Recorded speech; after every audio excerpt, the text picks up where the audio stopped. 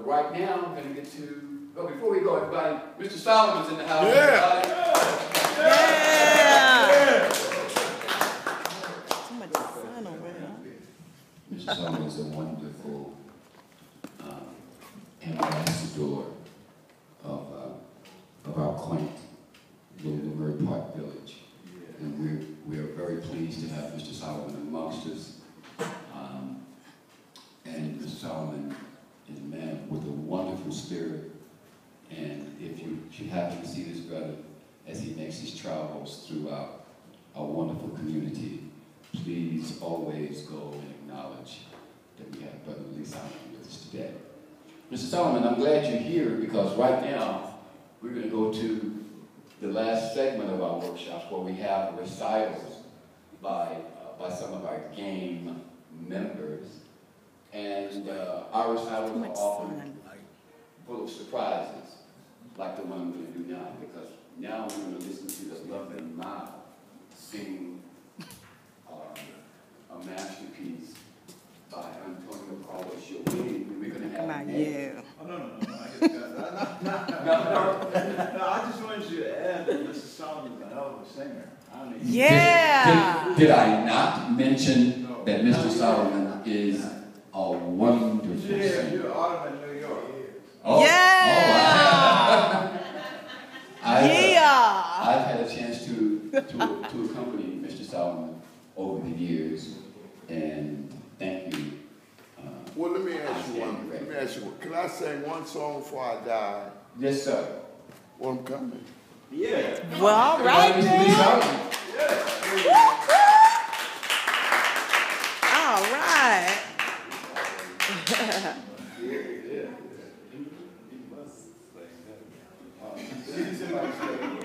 Mr. Patrick's hand, anybody got a Facebook fan handy?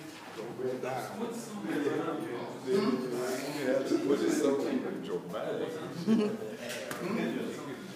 Yeah, that's right, boy.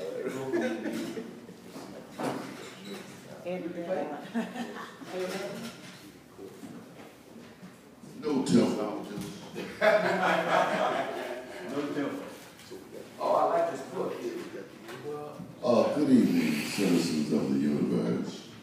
Yeah. I'm so gratified that we're all here breathing now. And I appreciate, I'm not in love with vanity or insanity or ignorance either. I just want to be a human being. That's the best thing to be. You are And uh, just being.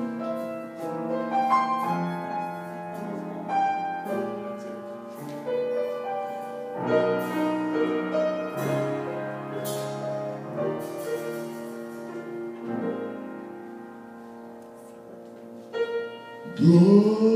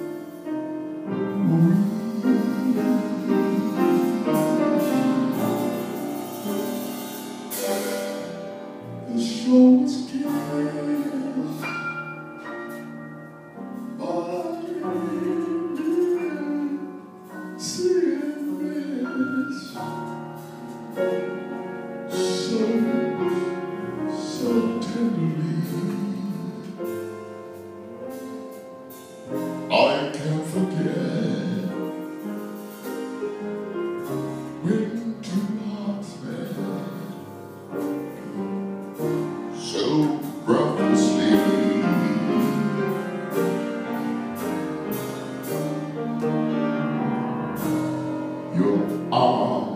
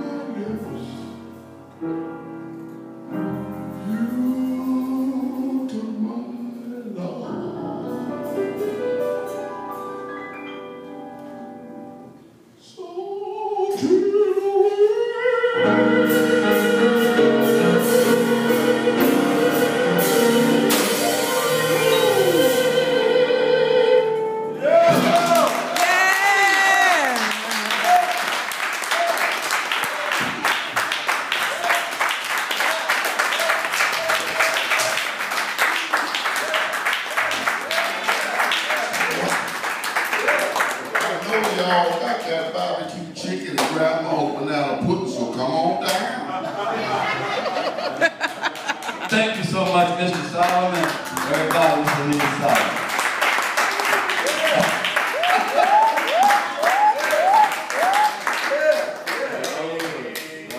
Yeah. That's right. That's how music Woo. moves you. Music moves you. Yeah. I mean, I could be wrong. This is just my theory. Music moves you through the way it makes you feel. And sometimes I have to remember what one of my mentors taught me. When I was a kid, I had a pretty good hand at writing music because it always looked interesting to me. My folks said that I was copying music out of a church hymn before I did my ABCs because it looked more interesting. So as a result, when I was a teenager, I was working as a music copyist. Remember those jobs? Yeah. Uh, with a guy named Merrill Sherrill at the company. So, and this my, my good friend Ishmael used to tell me as a kid, wow, you got a great looking hand, you should be a copyist. So when I started to write charts with Horace, um, maybe the first time, I think I proudly like showed him some of my music with my hand. And Horace said, wow, looks nice, but uh, it ain't music until it's heard.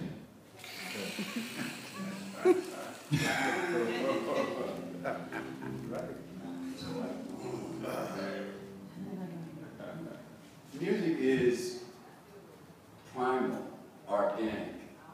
It, uh, it, it's Mr. Solomon in that wonderful, passionate, very honest, completely honest approach to the giving of the song.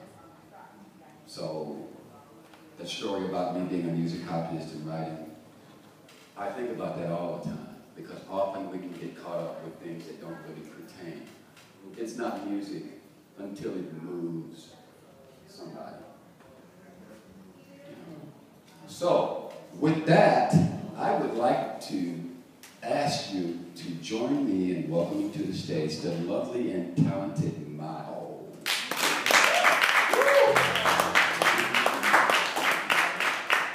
And I'd like, I'd like to ask for any game saxophonist.